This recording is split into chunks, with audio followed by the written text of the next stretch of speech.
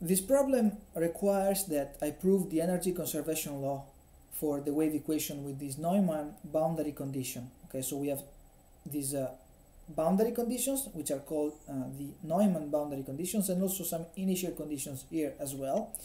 And we have a homogeneous wave equation here.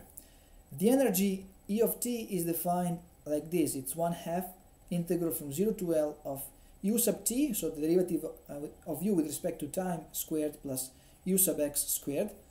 In this case, where the speed, which is usually denoted by c, the letter c, of the wave is equal to 1 in this case, dx. So we have to integrate over dx, and in general, since u sub t and u sub x are functions of x and t, when we integrate over the, the, the entire interval 0 to L, this function e of, uh, e of t will be a function of time, so it will depend on t in general. But now we can show that the derivative of, of e with respect to time will be equal to 0. We will show this, and therefore e will be a constant.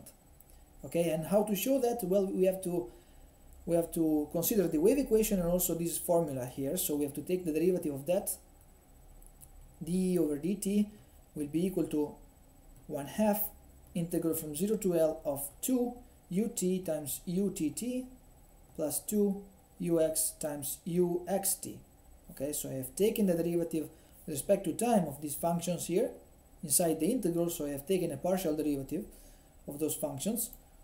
And now I can also use this, um, the wave equation, which tells me that u sub tt is equal to u sub xx, and I can also cancel these factors of 2 here, so I can rewrite this as integral from 0 to L of ut times uxx dx plus integral from 0 to L ux uxt dx.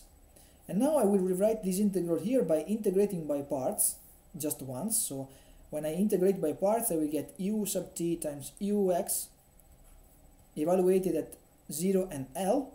And since we have Neumann boundary conditions here, the derivative of u with respect to x calculated at L and also calculated at 0 is equal to 0. So this quantity here will give 0 contribution.